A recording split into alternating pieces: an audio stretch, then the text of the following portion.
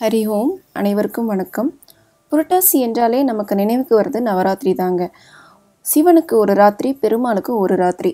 ஆனால் நம் அம்பிகைக்கு ஒம்பது நாள் கொண்டாடக்கூடிய இந்த நவராத்திரி ரொம்பவே விசேஷம். தனம் தானியம் நிலையான இன்பம் நீண்ட ஆயுள் ஆரோக்கியம் ஸ்வர்க்கம் மூர்ச்சம் என ஒவ்வொரு மனிதனுக்கும் வேண்டிய அனைத்தையும் தரக்கூடிய ஒரே விரதம் எதுன்னு கேட்டிங்கன்னா இந்த நவராத்திரி விரதம் தான் நவராத்திரியில் முதல் மூன்று நாள் துர்க்கை அம்மனுக்கு மகேஸ்வரி கௌமாரி வராகி என்ற பெயரில் நம்ம பூஜிக்கிறோம். அடுத்த மூன்று நாள் மகாலட்சுமியை மகாலட்சுமி வைஷ்ணவி இந்திராணி என்ற பெயரில் பூஜிக்கிறோம். கடைசி மூன்று நாள் சரஸ்வதியை சரஸ்வதி நரசிம்மேகி சாமுண்டி என்ற பெயரில் நம்ம பூஜிக்கிறோம். இந்த நவராத்திரியில் நவதுர்க்கையை வழிபடுறதும் ரொம்பவே விசேஷம். சிவபெருமானால் அவதரிக்கப்பட்ட இந்த நவதுர்க்கை எப்படி வழிபடணும்? இந்த நவ ஒவ்வொரு நவதுர்க்கையோட பெயர்கள் அதுக்கு என்ன கோலம் போடணும் என்ன பூ மாலை சாற்றணும் என்ன நெய்வேத்தியம் பண்ணணும் அப்படின்றது தான் நம்ம இன்றைக்கி இந்த வீடியோவில் பார்க்க போகிறோம் ஸோ வீடியோவை ஸ்கிப் பண்ணாமல் பாருங்கள் இது வரைக்கும் என்னோட சேனல் சப்ஸ்கிரைப் பண்ணலாம் மறக்காமல் சப்ஸ்கிரைப் பண்ணிவிடுங்க வாங்க வீடியோக்குள்ளே போகலாம் ரிஷி மண்டல கோலத்தில் சிவபெருமான் ஆடும் ஆனந்த தாண்டவத்தில் இருந்துதான் எழுத்துக்கள் தோன்றின. சிவபெருமானின் தாண்டவங்களில் இருந்து பிறந்தவர்களே நவதுர்க்கைகள். ஒவ்வொரு தாண்டவத்திலும் இருந்து ஒரு துர்க்கை அவதரித்தார்கள். நவராத்திரியில முதல் நாள் நம்ம பூஜிக்க போறது சைலபுத்ரி என்கின்ற மலைமகளை தான் நடராஜரின் ஆனந்த தாண்டவத்தில் முதலில் அவதரித்தவள் தான் சைலபுத்ரி. கரங்களில் சூலமும் தாமரை மலரும் ஏந்தி முப்பெருமானின் சக்திகளை கொண்டு உருவாக்கிய நந்தி வாகனத்தில் காட்சி தருகிறாள். நவராத்திரி முதல் நாள் இச்சைலபுத்திரி அன்னையை வழிபட தைரியம் வலிமை கற்பனை திறன் திருமண தடை நீங்கி மங்களகரமான வாழ்க்கை அமையும். காசியில் வருணை நதிக்கு அருகிலும் உத்தரப்பிரதேசத்தில் மரிகன காட்டிலும் சைலபுத்திரி அன்னையின் கோவில்கள் உள்ளன. இந்த சைலபுத்திரிக்கு நவராத்திரியில முதல் நாள் புள்ளி வச்சு அரிசி மாவில் கோலம் போட்டு மல்லிகைப்பூ மாலை வாழைப்பழம் சுண்டல் மற்றும் வெண்பொங்கல் நெய்வேத்தியமாக சாத்துறது விசேஷம். இரண்டாவது நாள் நவராத்திரி அன்னைக்கு பிரம்மசாரணியை நம்ம பூஜிக்கணும். சிவபெருமானால் இரண்டாவது நாளன்று ஆடப்பட்ட நடனம் திரிபுர தாண்டவம். இந்த தாண்டவத்தில் அவதரித்தவள் தான் பிரம்மச்சாரிணி. பிரம்மா என்றால் தபஸ் என்ற பொருள். வெண்ணிற ஆடையுடன் வலக்கரத்தில் ஜபமாலையும் இடக்கையில் கமண்டலமும் கொண்டு எளிமையாக காட்சி தருபவள். பிரம்மச்சாரிணி தேவிக்கு காசியில் துர்காகாட் படித்துறையில் கோவில் உள்ளது. தமிழகத்தில் கன்னியாகுமரியில் கோவில் உள்ளது. நவராத்திரியின் இரண்டாம் நாளில் பிரம்மச்சாரிணி அன்னையை வழிபடுவதற்கு மிகுந்த பொறுமையை தருவதுடன் மனதில் உறுதி பிறந்து எதையும் சாதிக்கும் துணிவு கிட்டும் எந்த நேரத்திலும் மனம் தளராது இருக்க அருள் புரிவாள் என்று சொல்லப்படுது. பிரம்மசாரிணிக்கு கோதுமை மாவில் இந்த மாதிரி ஸ்வஸ்திக் கோலம் போட்டு மல்லிகை பூ சாற்றி மாம்பழம் வைத்து புளியோதர நைவேத்தியமாக வைக்கிறது நல்லது. அடுத்து நவராத்திரியின் மூன்றாவது நாள் நம்ம பூஜிக்க போகிறது சந்திரகாண்டா. சிவபெருமானின் மூன்றாவது நாள் ஆட்டமான ஊர்த்துவ தாண்டவத்திலிருந்து தோன்றப்பட்டவள் தான் சந்திரகாண்டா. முன் நெற்றியில் சந்திர பெரியை அணிந்து மூன்று கண்கள் பத்து கரங்களுடன் புலி வாகனத்தில் போருக்கு தயாரான கோலத்தில் காட்சி தருபவள் சந்திரகாண்டா. சந்திரகாண்டாக்கு காசியில் சவுத் கடை தெருவிலும் சித்திரகந்த குள்ளி வாரணாசியிலும் கோயில்கள் உள்ளன. சந்திரகாண்டா எனப்படும் இந்த தேவியை வழிபடுவதால் மனதில் உள்ள தீய எண்ணங்கள் அழிந்து மனதிற்கு அமைதி கிடைக்கும். செவ்வாய்க்கிழமைகளில் இவளை வணங்க துன்பம் துயரம் நீங்கி வாழ்வில் வளம் பெறலாம். இந்த அம்பிகைக்கு நீங்க முத்து மலர்ல கோலம் போட்டு செண்பகப்பூல பூச்சூடி பலாப்பழம் வச்சு சக்கரை பொங்கல் நைவேத்தியமாக செய்கிறது ரொம்பவே நல்லது. அடுத்து நாலாவது நாள் நம்ம வழிபட வேண்டிய துர்க்கையம்மன் குஷ்மாண்டா குஷ்மாண்டா தேவி சப்த ஒளி கோலத்திலிருந்து அவதரித்தவள். இவள் எட்டு கரங்களை கொண்டவள். இவளின் எட்டு கரங்களில் முறையே பாசம் அங்குசம் வில் சூலம் இருக்கும். இவளின் எட்டாவது கரத்தில் கலசம் உண்டு. இக்கலசம் அஷ்ட சித்தியையும் நவநிதியையும் பக்தர்களுக்கு தரவல்லது. இந்த தேவியின் கோவில்கள் கதம்பூர் கான்பூர் நகரத்தில் அமைந்துள்ளது. குஷ்மாண்டா தேவியின் அருள் பாவத்தை அளித்து இன்பத்தை தரவல்லது. இத்தேவி நமக்கு அனைத்து வகையான செல்வங்களையும் அளிப்பவள். வறுமை மற்றும் துயரத்தையும் நீக்கி நோயற்ற வாழ்வு தருபவள். இந்த அம்பிகைக்கு படிக்கோலமிட்டு ஜாதி மல்லி சூடி கொய்யாப்பழம் மற்றும் காய்கறிகள் சேர்த்த கதம்ப சாதம நெய்வேத்தியமாக செய்கிறது ரொம்பவே நல்லது. அடுத்து நவராத்திரியின் ஐந்தாவது நாள் நம்ம பூஜிக்க போகிறது ஸ்கந்தமாதா.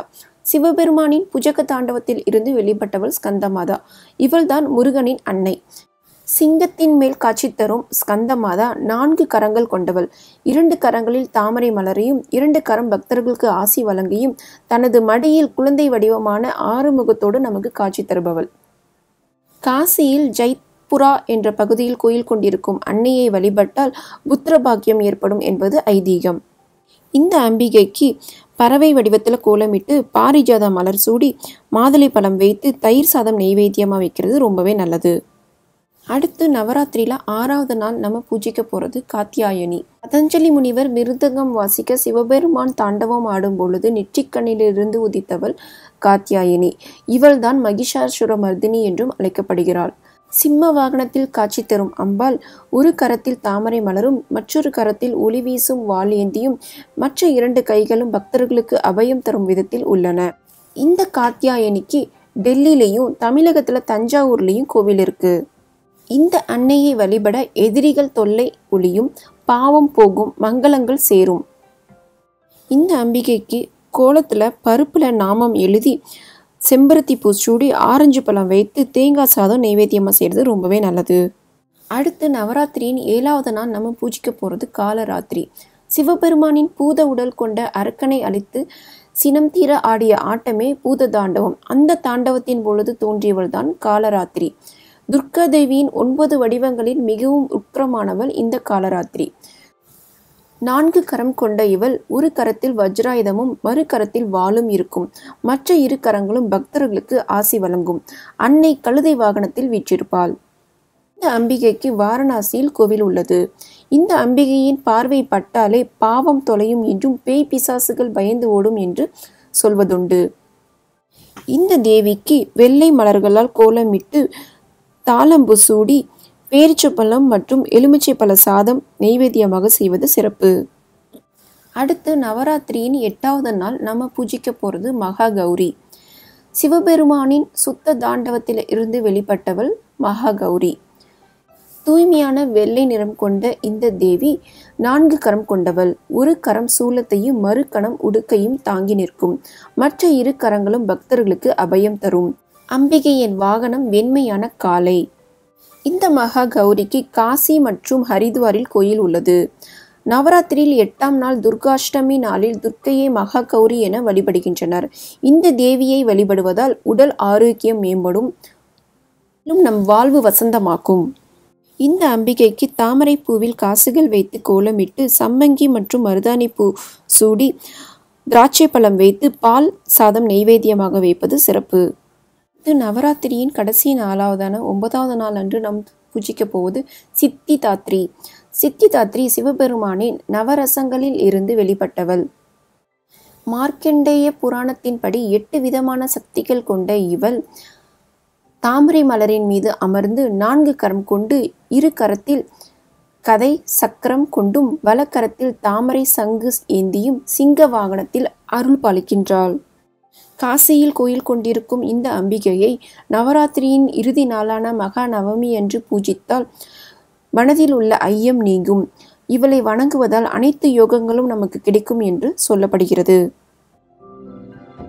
இந்த அம்பாளுக்கு நவராத்திரியின் ஒன்பதாவது நாள் சூலம் வரைந்து அதில் கற்பூரம் வைத்து கோலமிட்டு தாமரை பூ சூடி நாவல் பழம் வைத்து அக்கார அடிசல் நைவேத்தியமாக வைப்பது மிகவும் சிறப்பு. தமிழகத்துல இந்த ஒன்பது தேவிகளையும் சாமுண்டீஸ்வரி வராகி இந்திராணி வைஷ்ணவி தேவி மகேஸ்வரி கௌமாரி சாம்பவி நரசம்மி மற்றும் பிரம்மி என்ற பெயர்ல நம்ம பூஜிக்கிறோம். நவராத்திரியில ஒன்பது நாளும் பூஜை பண்ண முடியாதவங்க கடைசி மூணு நாள் பூஜை பண்ணா கூட ஒன்பது நாள் பூஜித்த பலன் கிடைக்கும் என்று பெரியோர்களால் சொல்லப்படுது. நவராத்திரி தினங்களில் விரதம் இருந்து அம்பிகை வழிபட்டால் நமக்கு எல்லா விதமான அருளும் கிடைக்கும் என்பது உறுதி.